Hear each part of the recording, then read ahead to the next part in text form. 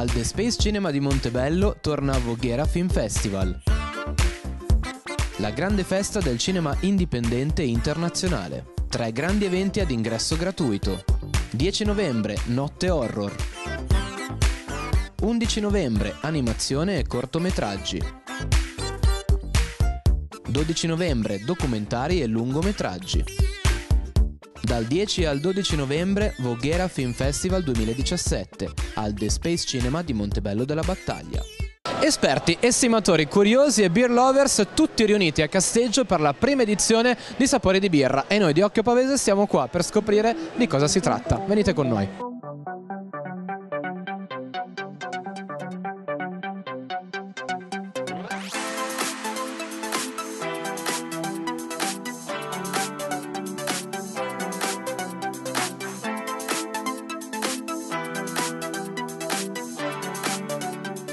Assessore, cosa rappresenta Sapore di Birra per la città di Casteggio? Sappiamo che Sapore di Birra è un nome nuovo che però eh, racconta un contenitore molto più ampio, che è quello che è stato Beer Art fino all'anno scorso e che eh, rappresenta ormai tanto per il comune di Casteggio e per la comunità di Casteggio e per l'Oltrepo, perché di fatto è un'occasione per eh, attrarre persone in Oltrepo Pavese eh, con un tema diverso da quello del vino e dell'enogastronomia classica, eh, ma che ha preso piede, anche perché, come spesso è stato ricordato in tutte le varie edizioni di Beer Art, eh, e quindi quest'anno anche verrà ricordato, questa è una manifestazione di alta qualità. Parliamo di birrifici artigianali eh, di elevatissima qualità che stanno facendo ricerche nell'ambito della birra e quindi non è una festa della birra, è un modo anche di promuovere delle attività produttive. Quindi da questo punto di vista noi siamo sempre stati vicini a questa manifestazione, siamo contenti contenti che sia ancora qui. Ecco. Valorizzare i prodotti con manifestazioni come questa, quanto è importante per la provincia di Pavia, per il comune di Casteggio?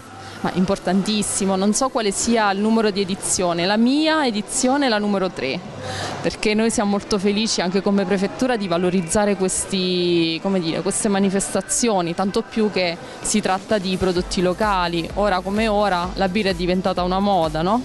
però in questo caso riteniamo che sia come dire, un, uh, una perla del territorio perché sono tutti birrifici del, dell'Oltrepo, tutte birre artigianali, quindi diciamo siamo al top della produzione, non siamo in una manifestazione sulla birra organizzata all'ultimo momento, ecco, quindi siamo molto contenti come prefettura di essere presenti dove eh, si può valorizzare i prodotti del territorio come in questo caso. Questa mattina c'era una conferenza proprio qua eh, sull'utilizzo consapevole, il consumo consapevole della birra, questo abbinamento tra eh, promuovere il prodotto però farlo conoscere anche sotto altri punti di vista, cosa ne pensa?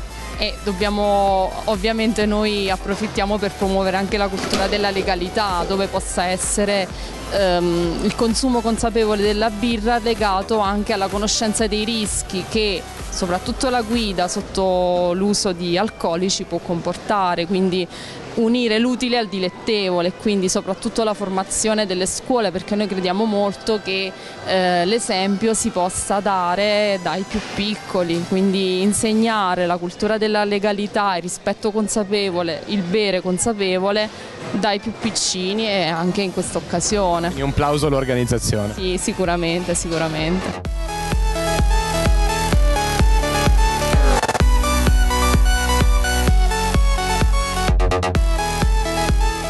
E siamo con Alberto e Martina di Verde Design. Che cosa ci fa Verde Design in una fiera della birra? Eh, diciamo che ci hanno chiamato per allestire tutti i 6.000 metri quadrati di quest'area. Raccontateci un po' della vostra attività. È una tecnica giapponese, il terriccio che utilizziamo è giapponese e arriva appunto direttamente dal Giappone. La loro particolarità è che è una sfera di terra ricoperta da muschio e quindi non è il solito vaso che hanno tutti. Per innaffiarla solo una volta a settimana, immergendo la sfera nell'acqua per circa un minuto, perché internamente c'è anche l'argilla espansa che è un materiale che trattiene l'acqua e la rilascia gradualmente. Spettacolare, non avevo mai sentito parlare di tutto ciò, ma è bellissimo. Voi dove siete? Dove vi possono trovare le persone? A Pavia c'è il laboratorio dove noi facciamo tutte le creazioni e adesso ci siamo lanciati in questa avventura. C'è una pagina Facebook? Sì, è appunto Verde Design, anche la pagina Instagram. Naturalmente siamo hobbisti per il momento, stiamo provando a vedere se questa cosa funzionerà e facciamo i mercatini. Un negozio non ce l'abbiamo ancora e sper- speriamo di riuscire ad aprirlo.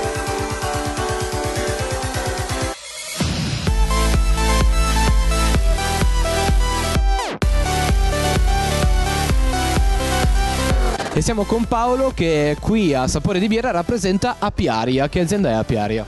Piara è un'azienda è individuale a mio nome e, e produco principalmente api regine e nuclei di api e successivamente anche il miele e per cui abbiamo un'attenzione particolare eh, per produrne anche se poco però di una qualità molto eh, importante per noi.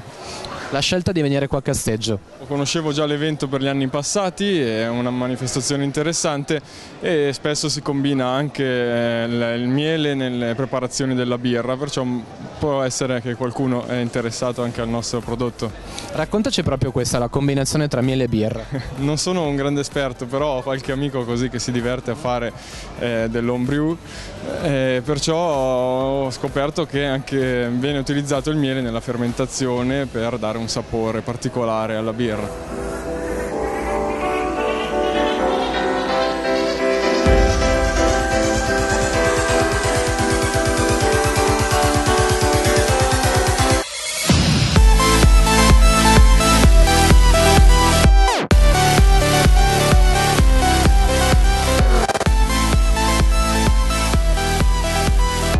Voi non la vedete, ma in questo momento c'è una griglia qua di fianco che è spettacolare e a Casteggio è arrivata anche l'Argentina. Buonasera. Buonasera a voi. E allora, cosa si... tutto bene? Sì, sì, sì. Mi piace incontrare l'Argentina in contesti come questo perché siete sempre molto calorosi e molto pieni di vita, eh, ma portate anche un sacco di cibo buono, carne, carne. Ecco, ecco, sempre abbiamo la carne. Guarda, abbiamo la pancia, sempre carne di manzo, di mucca.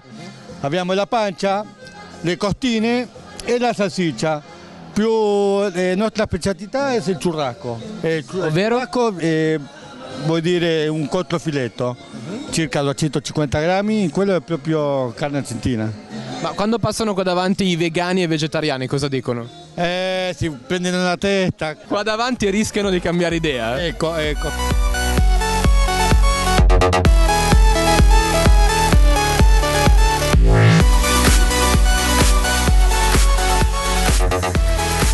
E finalmente iniziamo a gustare le birre di questo sapore di birra e il primo sapore è quello di questa azienda Croce di Malto, lo leggiamo alle mie spalle e qui a parlarne con me c'è Miller, ciao. Ciao.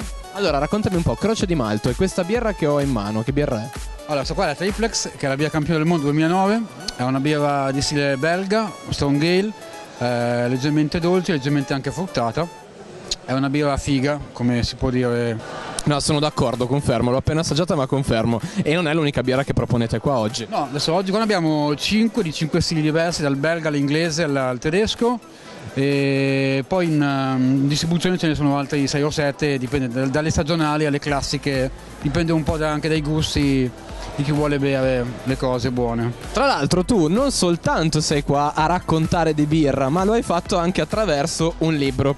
Il libro è questo, Le rocambolesche avventure di un romantico alcolista. Sei più alcolista o più romantico? Nettamente più alcolista, però poi quando diventi alcolista diventi anche romantico.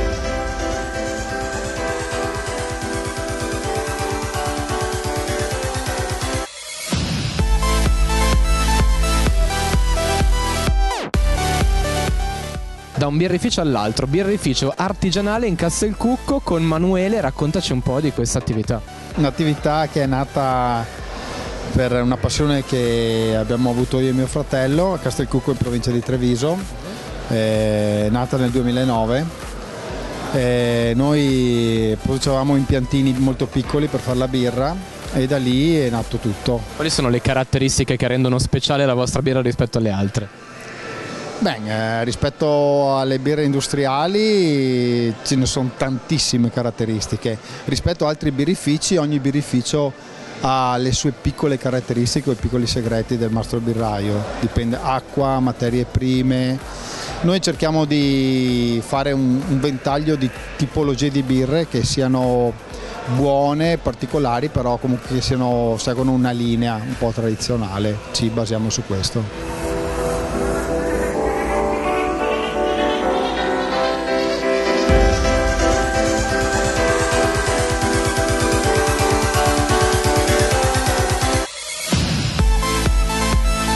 E siamo ospiti adesso di Mario del suo micro birrificio Riense. Di che...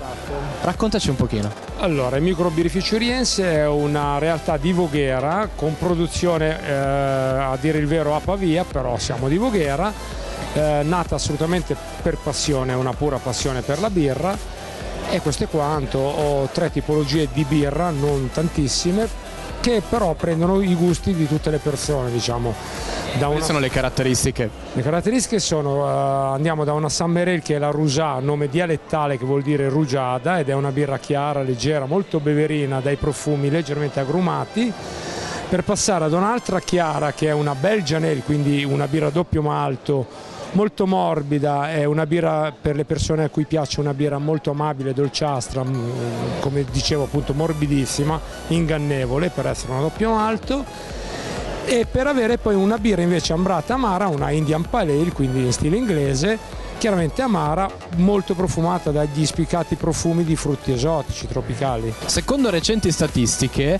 la popolazione femminile ha scoperto la birra, ti risulta? Assolutamente verissimo, sì, ho notato anch'io questo. Nelle fiere arrivano i morosi o marito e moglie dove la moglie o l'amorosa beve e il marito guarda.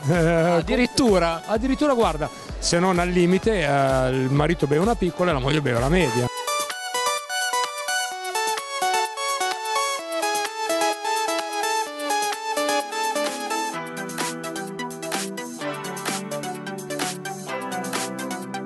Siamo con Jacopo di Picco Brew. Ciao Jacopo. Ciao, ciao. Raccontaci un po' della vostra birra. Allora, noi siamo di Milano e siamo una, a metà tra beer firme e produttori, nel senso che lavoriamo su un impiantino da 100 litri che abbiamo messo in piedi noi e poi in affitto su un impianto più grosso da 1200 pagando per utilizzare i macchinari, però siamo stati i loro primi clienti, abbiamo comunque molto diciamo lavoriamo molto noi in prima persona all'interno del birrificio per fare le nostre birre e anche se poi da un punto di vista legale le birre escono fuori dal birrificio e noi le compriamo e poi giriamo per Milano su un carretto, su una bicicletta adibita a di pub e vendiamo la birra direttamente in strada, sui navigli siamo di solito. Adesso abbiamo due carretti e... ed è un anno e mezzo che siamo in giro.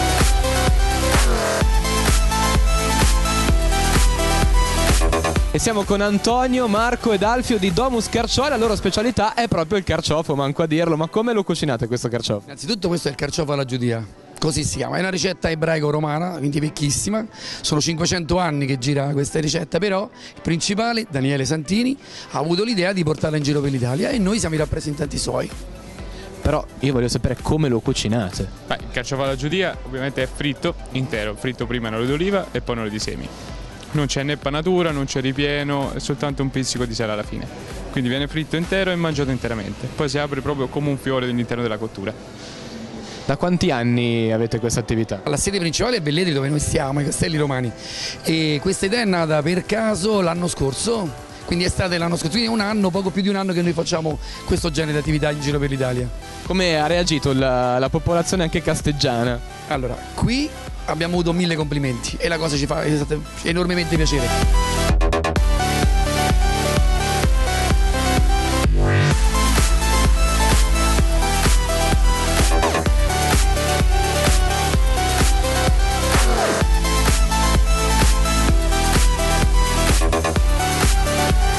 sei anni a Pavia, Leo Spiada, noi le facciamo davanti a tutti queste piadine. Sì, eh, siamo mm, a Pavia da sei anni e mezzo, abbiamo aperto la prima piadineria Leo Spiada in centro è partito tutto per gioco, per una scommessa con amici e dopo un po' di anni siamo ancora qua.